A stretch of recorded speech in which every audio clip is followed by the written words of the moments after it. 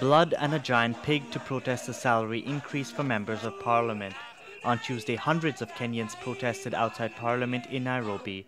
No violence had been reported. This is the second gathering of its kind for the association Occupy Parliament.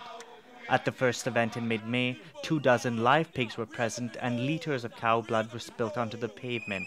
This time, the organisers have filled a fake pig with flowers outside the gates of Parliament to avoid further problems with the law. Several members were prosecuted after the first event for animal cruelty. Some of us were arrested, arraigned into a court, and they put some funny charges which we know they are wrong, just a matter of making us chicken out. But we have said we shall not chicken out because we must pursue the rights of the common mwananchi. These Kenyans condemn the lifestyle of their members of parliament classified as greedy pigs. Parliamentarians of the country are amongst the highest paid in Africa and do not pay taxes. They are trying to obtain a salary increase of about 300,000 shillings. In the previous legislature, MPs earn nearly $10,000, 90 times Kenya's minimum wage.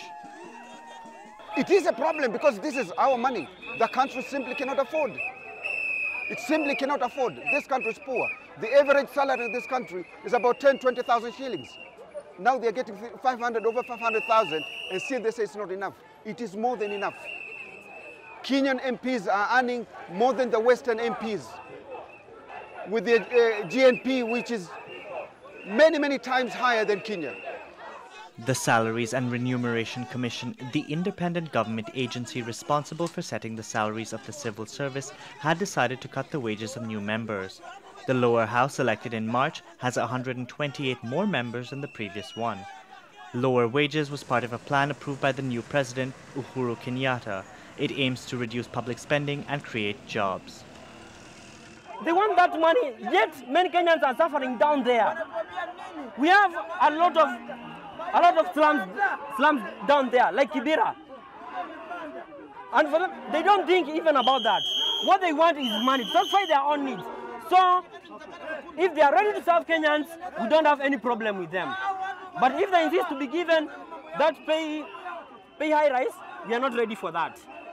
In Kenya, the unemployment rate hovers around 40 percent.